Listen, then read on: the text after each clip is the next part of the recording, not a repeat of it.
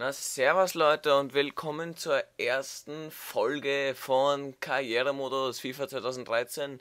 Mein Name ist Nico und ihr schaut FIFA Österreich. Okay, ähm, ja, ganz am Anfang mal, ich war mir gleich nicht sicher, welches Team ich nehmen sollte, habe mich dann aber für ein Team in der österreichischen Bundesliga natürlich entschieden und für, zwar für Admira, Wacker, gleich zu den Spielanstellungen, natürlich Profi 4 Minuten und das Stadion kann natürlich nicht anders heißen als Weststadt war mir hier dann nicht sicher, ob da noch Stadion dran gehört, aber habe das so gelassen und natürlich anwenden und beenden. Den europäischen Werb in der ersten Saison habe ich ausgelassen, weil ich mir denke, dass ich jetzt mal in der ersten Saison erstmal das Team aufbauen will. Und ich konnte mich hier relativ lang für keinen Namen entscheiden. Ähm, habe es alle möglich versucht, habe mich dann gedacht, ob ich mich vielleicht YouTube Man oder irgend sowas nennen sollte bin aber dann endlich zum Schluss gekommen, meinen echten Vornamen beizubehalten und als Nachnamen habe ich dann viele Sachen ausprobieren wollen. Da habe ich dann der Schlawiner versuchen wollen. Da habe ich mir dann gedacht, ah, nein, das ist, nie, ist eigentlich nicht ganz. Habe ich dann gedacht, der vielleicht der Gschaftelhuber, aber ging sich leider nicht aus. Deswegen ging ich einfach mit Nico der King natürlich aus Österreich, Hemd und Schlips im Marineblau, das ist, was wir sehen wollen. Und der King ist bereit, die Admira im Sturm zu nehmen. Was sollte es anders sein? Und der King will sich auch natürlich auf internationale Bühne beweisen, wird aber in der ersten Saison noch nicht spielen. Also gehen wir mal in die Mannschaftseinstellungen. Hab mir erstmal eine Karte angeschaut und war natürlich schockiert über die Torhüterleistungen und habe mir hier erstmal die ganzen Bewertungen angeschaut. Natürlich der Star momentan des Teams, Marcel Sabitzer, das Jungtalent aus Österreich, 18 Jahre jung, wenn ich mich nicht täusche, oder vielleicht schon 19, ich bin mir gerade nicht ganz sicher. Peter Jeschik wird in dieser Saison vermutlich die Karriere beenden. Und natürlich Stefan Schwab und Uwe Traugo. Schaue ich mir die Bank an, Emin Soleimani, 4 Sterne, Skills, bist du deppert, da legst du nieder habe ich mir angeschaut und ich gebe Stefan Pallack direkt als Linksverteidiger an, weil ich ihn persönlich Weber vorziehe. Und habe mir dann noch angeschaut, hier Daniel Toff, habe ich mir gedacht, ob ich ihn vielleicht auf die Bank setzen soll vorerst mal. Aber dann habe ich es erstmal gelassen. Und jetzt schauen wir mal direkt zu den Transfers. Ich wollte unbedingt einen neuen Torhüter verpflichten und habe äh, hab dann geschaut in der österreichischen Bundesliga, weil ich will nicht sofort einen Ausländer reinbringen habe ich mir mal angeschaut, was es alles gibt. Natürlich muss ich ein bisschen auf das Budget achten. Habe mir überlegt, vielleicht ja Nota von Rapid, aber der ist schon 28 und ich wollte ein bisschen jünger. Und da habe ich hier Christian Dobnik gesehen von WRC. Talentierter Keeper, habe mir ihn in echt angeschaut. Unglaublich, was der momentan in der Liga leistet. Einer der besten Torhüter in der Liga. Habe ihn auf die Liste gesetzt, damit ich mal weiterschauen kann. Da habe ich geschaut, ob es in der Transferliste welche gibt, aber nein, gab es nicht. Dann lese ich hier meine E-Mails. Äh, Ligaziel und, Nationalziel, und nationales Ziel. Gab es alles nicht zu erreichen. Und ich habe mir gedacht, ja, ich brauche ein bisschen mehr Geld. Habe deswegen um eine Aufstockung um eine Million erbittet. Das war dann natürlich ein bisschen zu viel für meine lieben Freunde aus dem Vorstand. Obwohl ich ihnen versprochen habe, dass ich mich für Coop Europa qualifizieren sollte und das Finale im Cup erreichen werde. Doch, wie wir sehen in der weiteren Simulation, hat das dann nicht ganz so funktioniert mit unseren lieben Herren von, vom Vorstand, weil wir noch nicht lang genug dabei sind. Und dann habe ich natürlich hab ich gleich geschaut, welche Spiele wir vielleicht verkaufen oder verleihen sollen. Wir haben hier angeschaut, Pöllhuber, nein, eher nicht. Vielleicht René Schicker, aber bei dem ist mir nicht ganz sicher, weil der ist ein sehr schneller Mann. Habe ihn mal auf das gesetzt, schauen, was die Leute für ihn bieten, weil er schon etwas älter ist. Und dann habe ich geschaut, die jungen Spieler, manche Leute hier, Manuel Kutin, der Tormann kann mit in dieser Saison nichts mit ihm anfangen, habe gedacht, ich setze ihn mal auf die Leihliste für eine Saison. Gleiches gilt auch für äh, Maximilian Sachs, den ich auch auf die Leihliste setze, weil ich momentan mit seinen 52 Gesamt nicht viel mit ihm anfangen kann. Hab, sehen wir natürlich auch den Rest des Teams noch an, finde aber hier dann nichts. Und es geht auch gleich in die erste Partie der Vorbereitung gegen die Hearts aus Schottland, wenn ich mir das jetzt nicht einbilde. Und ich habe mich dazu entschieden, das Spiel nicht zu spielen, sondern es nur zu simulieren. Wir spielen mit, mit Schwab und Uwe Traugo vorne und Sabitzer am rechten Flügel und nicht ganz vorne im Sturm. Und naja, die Innenverteidigung bilden äh, Windpichler und Drescher, das wird sich vielleicht noch ändern. Und wie ihr seht, spielen wir 1 zu 1 für, durch ein Tor von Plasneger. Unglücklich direkt gleich den Ausgleich kassiert, aber was soll man machen? Und Manchester jagt, wie wir sehen, Pepe, sehr interessant hier, alles hier, auch wenn es einem in Wirklichkeit am Anus vorbeigeht. Nächste Vorbereitung, das geht ja ratzfatz hier, Coventry City aus England, soviel ich weiß.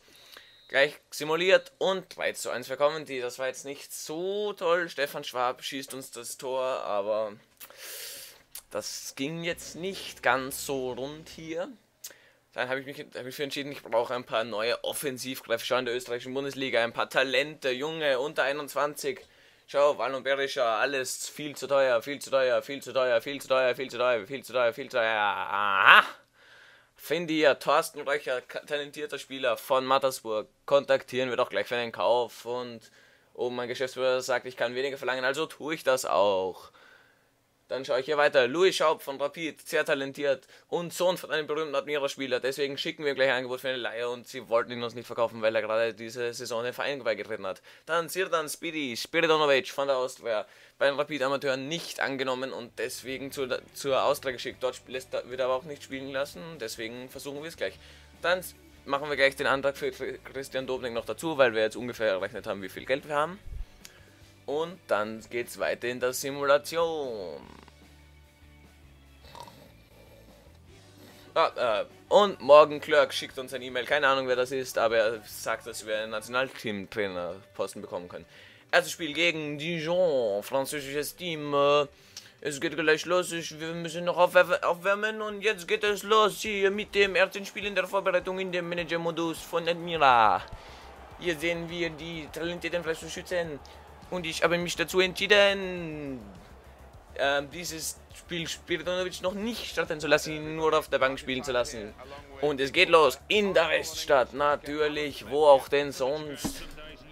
Erstes, hier sehen wir die, die Sachen, die, die Spieler laufen ein. Unten Martin Tedder, Andy und Alan Smith sind es natürlich nicht die Kommentatoren, sondern ich bin es, euer Nico und ihr könnt euch verladen und das ist der Ankick zum ersten Spiel der Bundesliga. Oder auch nicht.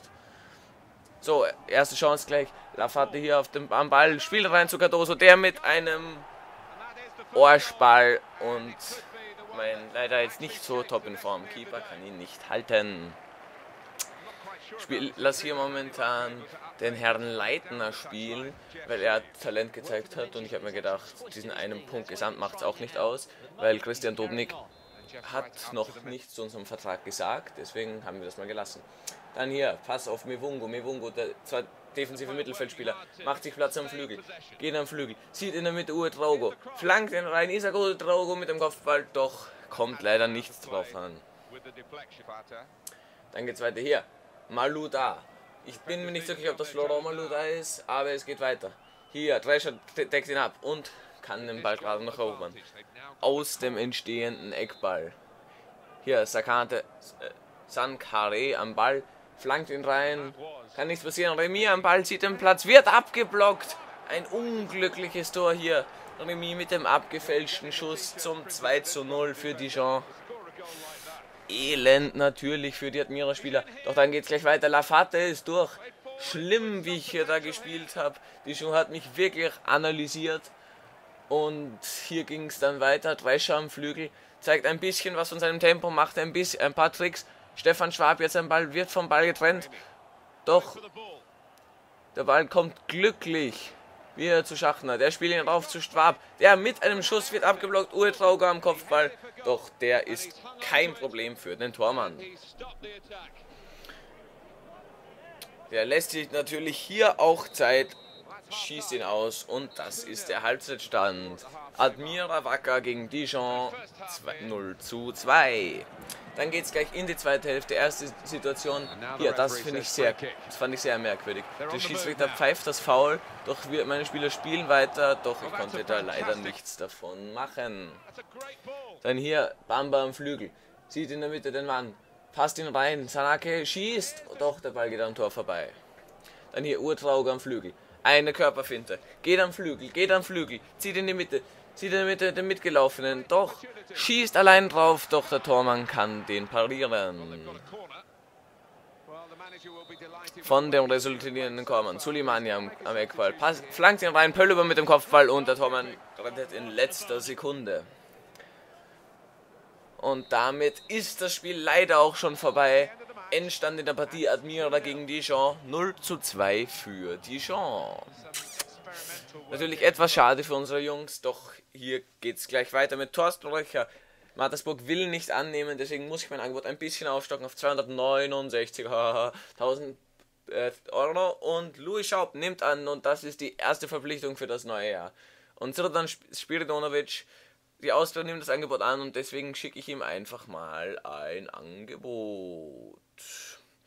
Natürlich wäre er ein wichtiger Spieler, denn ähm, Jeschek wird nicht mehr so oft eingesetzt werden, voraussichtlich, denn er ist schon etwas älter.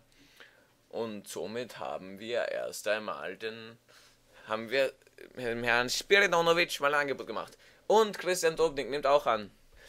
Er hat zwar einen Vertrag, ich gebe ihm ein bisschen weniger, als der Gehaltsführer sagt, aber dafür gebe ich ihm auch eine ohne Gegentorprämie. Die sollte ihn überzeugen, denn das ist es. So, ich hoffe, es hat euch gefallen. Die nächste Folge wird bald draußen sein und sehr grüß euch Gott und habt einen schönen Tag.